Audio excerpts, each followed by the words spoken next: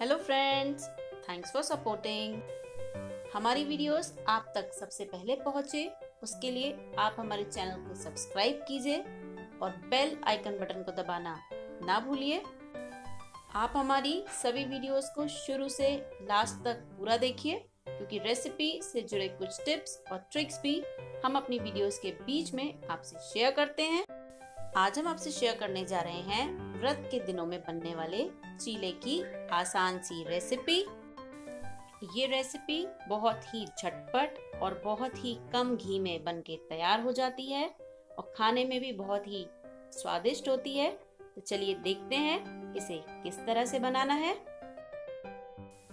सबसे पहले एक बोल में हम ले लेंगे एक कप सिंघाड़े का आटा। आप चाहें तो कोटू के आटे का इस्तेमाल भी कर सकते हैं। अब हम इसमें डाल देंगे बारीक कटी हरी मिर्च और यहाँ हम ले लेंगे तीन चौथाई कप महीन कद्दूकस किया हुआ खीरा।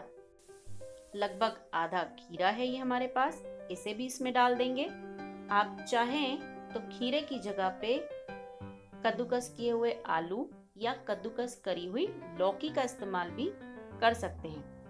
और साथ ही हम इसमें डाल देंगे नमक, आपके टेस्ट के हिसाब से। अब हम इसमें डाल देंगे आधा छोटा चम्मच लाल मिर्च का पाउडर। और इन सबको अच्छे से मिक्स कर लेंगे। ये चीला बहुत ही टेस्टी होता है और बहुत ही क्रिस्पी भी बनता है। अब हम इसमें डाल देंगे पानी धीरे धीरे करके पानी डालेंगे और इसे मिक्स कर लेंगे और इसका एक बैटर बना लेंगे। स्मूथ बैटर बना लेंगे। ध्यान रखिए इसमें एक भी लम्स ना रहे।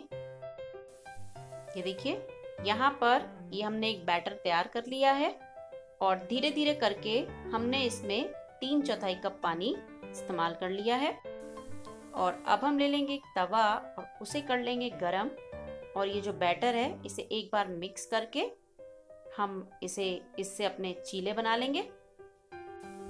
और एक कलछी बैटर लेके हम गरम तवे पे डाल देंगे। गैस को हमने मीडियम रखा है और इसे अच्छे से फैला देंगे। बहुत पतला हमें नहीं करना है और ना ही बहुत मोटा रखना है। इस तरह से बैटर को पूरे में फैला दीजिए। और अब हम इसमें डाल देंगे थोड़ा सा देसी घी।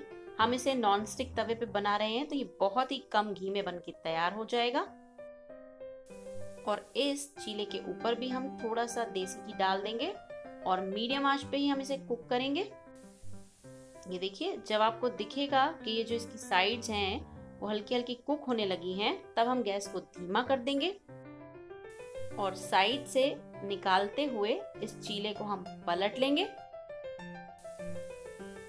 ये देखिए, ये अच्छे से एक तरफ़ से सिक गया है, अब दूसरी तरफ़ से भी हम इसे सेक लेंगे और लेकिन दूसरी तरफ़ से हम इसे धीमी आँच पे सेक लेंगे, जिससे कुरकुरा हो जाएगा। और वापस इसे एक बार पलट के हम इस पर वापस से थोड़ा सा घी लगा देंगे। और पलट कर इस तरफ़ से भी अच्छे से सेक लेंगे। ये देखिए, ये जो चीला है हमारा, ये दोनों तरफ़ से अच्छे से सेक गया है। आप अपने हिसाब से इसे कम या ज़्यादा सेक सकते हैं। तो ये चीला एकदम तैयार है। चलिए इसे निकाल लेते हैं। तो ये लीजिए, ये तैयार हो गया है झटपट और आसान तरीके से बनने वाला सिंघाड़े के आटे का चीला। आप इसे व्रत में दही के साथ और कुछ खीरों की स्लाइसेस के साथ इंजॉय कर सकते हैं। इस चीले को बनाते समय आप ध्यान रखिए, आप इसमें खीरा, आलू या लौकी किसी भी चीज़ का इस्तेमाल करते हैं तो उसका पानी फेंके नहीं। उसका पानी भी इसी चीले के लिए इस्तेमाल कर लें। तो आप इस रेसिपी को बनाइए और इन्जॉय कीजिए। और अगर आपको हमारी रेसिपीज़ पसंद आ रही हैं तो उन्हें लाइक कीजिए, हमारी वीडियोस को शेयर कीजिए। Thanks for watching.